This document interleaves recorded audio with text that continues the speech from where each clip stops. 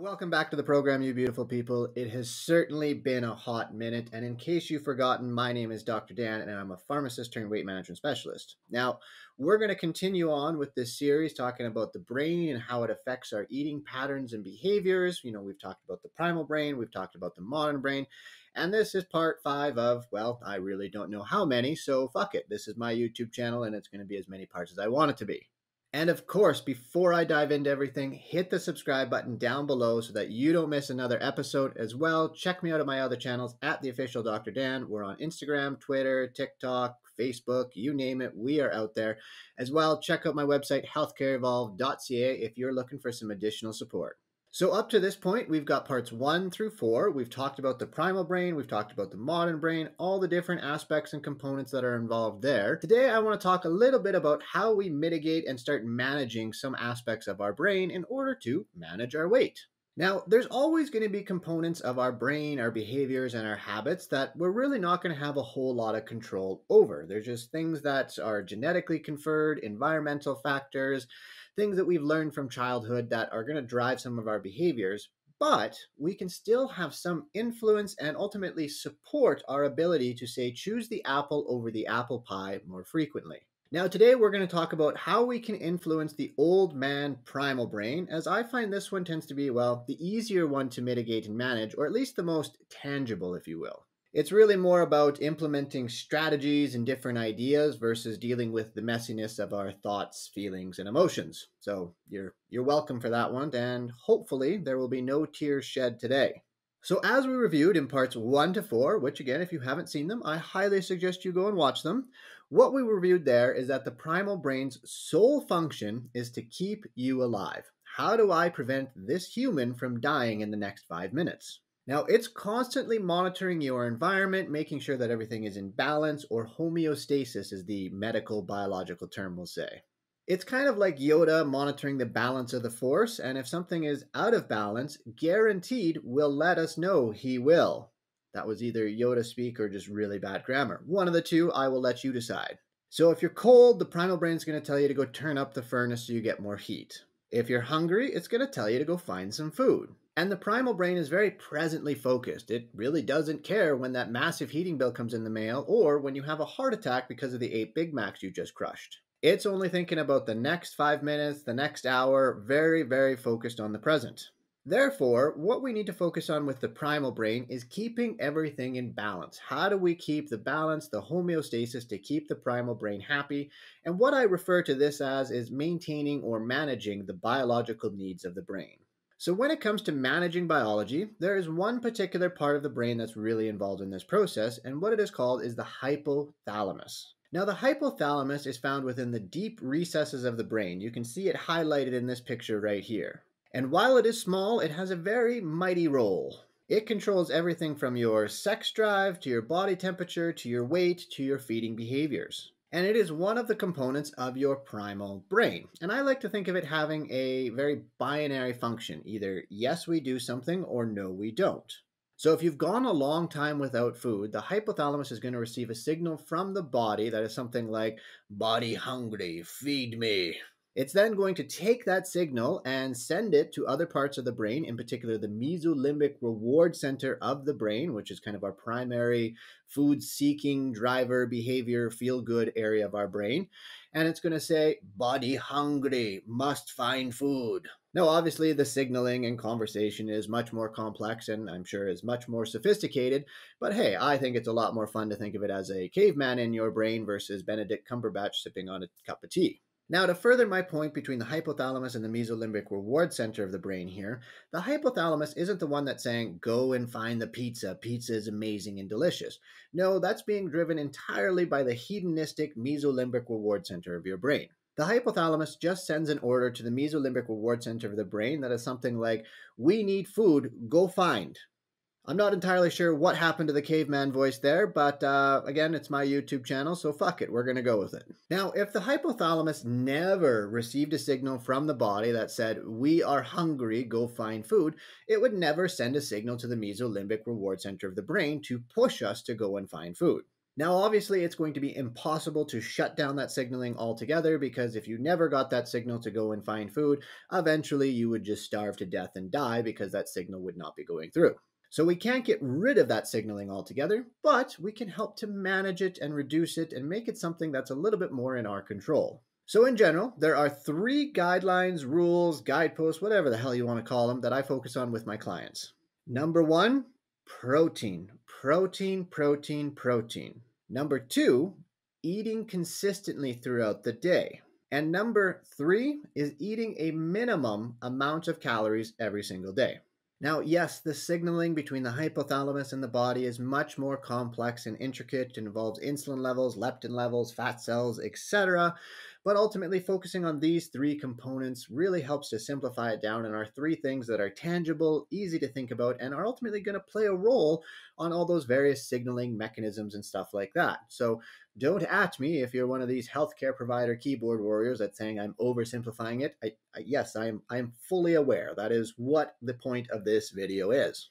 Anyways, let's talk about protein, the king of the macronutrients. And for today, I really don't want you to get caught up into how much protein. I'm going to review that in a little bit more detail in a future video. Today, I just want you to think of it more as how can I make protein the focus or the center of each of my meals and snacks? For example, chicken for dinner. Okay, chicken is at the center. How much chicken do we want to have? Is it going to be, you know, two palm sizes? Is it going to be one palm size? Whatever. But that's the main focus. And then, hey, what are we going to have as a starch? What are we going to have as a veggie or what have you? But ultimately, if your protein intake is too low, your hypothalamus is going to get all kinds of signals and alarms, and the body is going to be saying, We need protein, we're out of protein, give us protein. And so it's going to be sending that signal to the hypothalamus to essentially trigger you to go find it. And so there's a couple of reasons for this. Number one, your body really can't store protein. We can store carbohydrates in the form of glycogen in our muscles and our liver. We obviously can store fat in terms of fat cells, but protein, we really don't have a storage reservoir. So we need to continually eat protein throughout the day in order to ensure that our body is getting an adequate amount of protein so that our cells can do the cell things. Now, the second reason is, and the reason why protein really is the king of the macronutrients, is that protein can be converted into carbohydrates and fat if your body needs them. And on the flip side, carbohydrates and fats can only be used to create some of the proteins and amino acids that you need. The rest of the protein and amino acids that you need have to come from your diet. In terms of eating consistently, this is obviously going to vary between individuals. And no, I'm not talking about eating six meals, eight meals a day, or whatever like that to ramp up your metabolism. This has absolutely no scientific basis, and to be quite honest, is a bunch of bullshit. We want to eat consistently throughout the day, whether it's two or eight meals per day, in order to make sure that, number one, we're getting enough protein going into our system to do the cell things, but also to just manage our hunger through the day. Again, when your body goes long periods of time without any calories or food, the body is going to be sending signals to the hypothalamus and saying, This asshat hasn't eaten in 18 hours. Can you please go make them eat some food? And guess what? This signal is going to be sent to the hypothalamus and thus the hypothalamus to the mesolimbic reward center, regardless if you actually feel hunger. So if you feel the grumbling in your stomach or not, that signal is still being sent. Generally, if you wait until your stomach is full on grumbling and growling, at that point in time, it's too late, and the mesolimbic reward center of your brain is starting to narrow in on the highest calorie dense food it can possibly find. And it might be McDonald's on the way home, it might be the donut in the break room. Nonetheless, it is narrowing in and focusing in onto where that food is and trying to start you to get to have it. So, this is the reason why eating consistently through the day can be beneficial. It helps to dampen down that signaling. Now, as I said, there is no advantage between eating two times a day or eight times a day. It really doesn't matter. It's going to fundamentally whatever works for you and your schedule. Generally, when I work with people, we aim for maybe three to four, maybe more times per day. And that's kind of like your three main meals and then maybe some snacks. Again, depends on you, your day, and that sort of thing. And sorry to the intermittent fasting groups, and this is part of the reason why I would say intermittent fasting really doesn't work for like 99% of people eventually. Now, eating a minimum amount of calories. I know this one sounds a little bit weird and don't know where it's really coming from, but just stay with me here. And what I mean by this is that we essentially want to eat enough calories in order to keep the proverbial lights of our body on. We need to have enough energy in order to digest our food, keep our heart going, keep breathing, and to poop. And you might hear people call this your basal metabolic rate or your BMR. So, for me, a 31 year old male that's 5'10, about 200 pounds or so, my BMR is approximately 1800 calories per day. So, that's the amount of calories my body is going to burn by just existing. And if my energy intake falls below that 1800 or even remotely close to that, to be quite honest, I become what one at the best could say is a cranky Kathy. Now, to find out what your BMR is, because I know a number of you are going to ask that, if you just type in BMR calculator via Google, you're going to get like a bazillion hits. There's various different formulas and calculations. Don't get too caught up in that again. Just see what the original one is and go from there. So, your basal metabolic rate of calories is basically the minimum amount of calories that I usually recommend for anybody. And even then, most of us, or 99% of us, anyways, are actually going to need more than that to prevent us from, well, murdering people, but to also help us in losing weight. And that's right, as I always say, 1200 calories per day does not work for weight loss. If we get near or below your basal metabolic rate of calorie intake, your hypothalamus is going to be basically receiving a mob of signals, kind of like people that are trampling each other to get TVs on Boxing Day. Now, another point that I want to bring up here is when I say a minimum, it's because, well, life. You see, life involves food.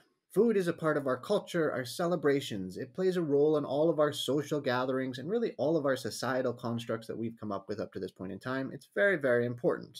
Therefore, there's going to be days where you're going to eat more calories. And so we don't put a maximum amount of calories that you can have because some days I expect you to eat more calories. If you're skipping cake on your birthday because you feel you need to in order to lose weight, you are doing it wrong.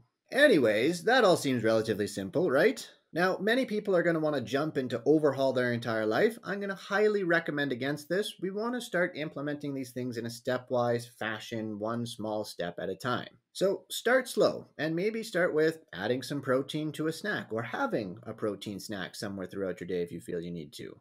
And then try adding some protein to lunch. And maybe you're at 1200 calories a day right now. Maybe we'll go up to 1300 calories per day for a week. And then we'll go up to 1400 and so on and so forth. A lot of these changes are going to seem very foreign and counterintuitive to what you've done in the past. And hell, it's probably going to be scary as hell. But if we start slow, we can start to slowly and progressively incorporate them and build on top of them so it's not as overwhelming and it's not as scary. And if we slowly start to incorporate these, we can ultimately reduce the signaling and how much is going to the hypothalamus and ultimately the mesolimbic reward center of our brain. And we can keep that old man primal brain good and happy. Now, hopefully the above all makes sense, and not to worry, I will kind of delve into those various components or those three things in more detail in future videos, probably not part of this part 10 series or whatever, but we will get into it in more detail so that you guys can have a better understanding of that and so you can get the full picture as to what kind of changes, if you get stuck along the way, you might need to do. So that is it for today, you beautiful people. That is part five, talking about how we manage the old man primal brain. I probably only got one more part in me for this series right here, and then we'll dive into some other topics and such.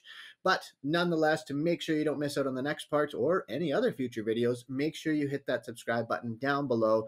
And of course, check me out on my other channels at the official Dr. Dan. We're on Instagram, Twitter, TikTok, you name it, we are out there. As well, check out the website healthcareevolve.ca where you can get more details. As well, if you need to, you can book a free consult with myself. And as always, everybody, don't forget that small tweaks lead to massive peaks.